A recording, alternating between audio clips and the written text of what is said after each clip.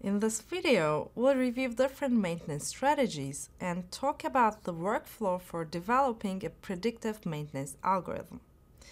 Every day, we rely on a wide range of machines, but the truth is that every machine eventually breaks down, unless it's being maintained. Companies follow different maintenance programs to increase operational reliability and reduce costs. One way is to do reactive maintenance, where the machine is used to its limits and repairs are performed only after machine failure. If you're dealing, for example, with a light bulb, then it may make sense to go with the reactive approach. But think of a complex system with some very expensive parts. You can't really risk running it to failure as it will be extremely costly to repair highly damaged parts. But more importantly, it's a safety issue.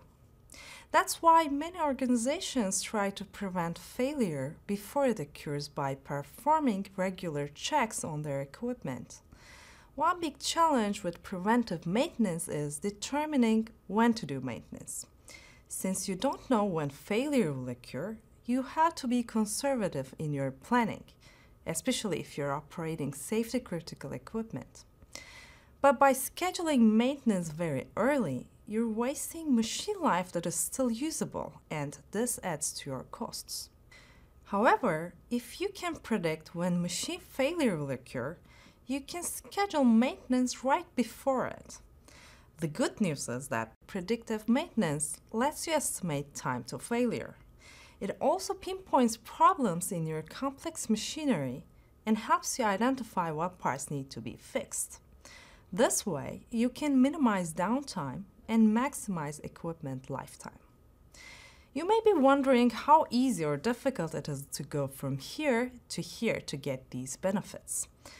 Obviously, it requires an initial investment as you need to develop an algorithm to predict a time window that's going to show you within how many days your machine will fail and when you need to do maintenance. Hopefully, the videos in this series will get you started. This is a triplex pump commonly used in the oil and gas industry.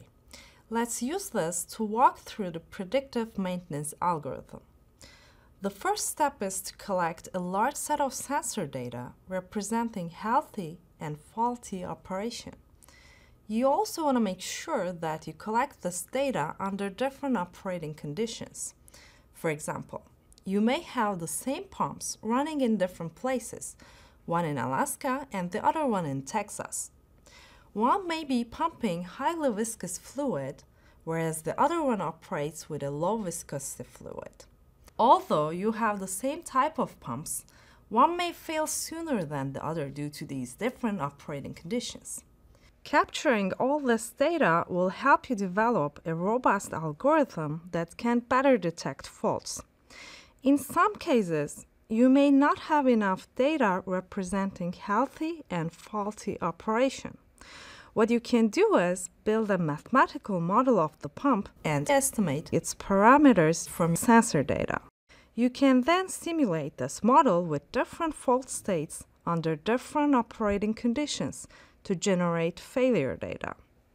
Now you have the generated data supplementing your sensor data, and you can use a combination of both to develop your algorithm. Once you have the data, the next step is to remove the outliers and clean it up by filtering out the noise.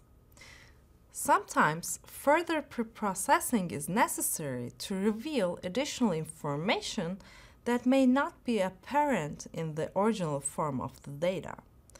For example, converting time domain data to frequency domain may help us extract some useful features, also referred to as condition indicators. These are used to distinguish healthy from faulty condition. In the plot, we see that the peaks in the frequency data shift left as the pump degrades, and therefore the peak frequencies can serve as condition indicators.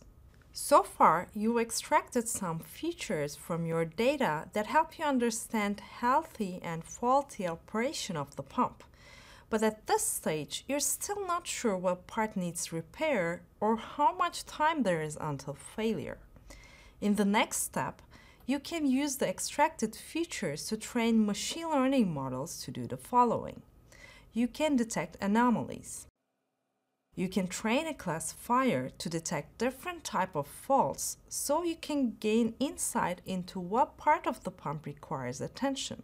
Or you can also predict the trend the pump will follow to transition between these two states.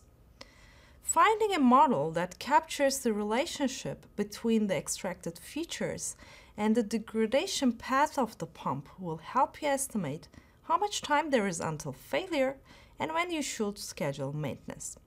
After developing your algorithm, you can get it up and running by deploying it on the cloud or on your edge device. Alternatively, if you have a large amount of data and if there are limits on how much data you can transmit, you can perform the pre-processing and the feature extraction steps on your edge device and then send only the extracted features to your prediction model that runs on the cloud. In this video, we discussed why predictive maintenance is important and what steps you need to follow to develop an algorithm that can pinpoint problems in your machinery and let you know in advance about a future failure. In the next video, we'll dive deeper into the algorithm steps.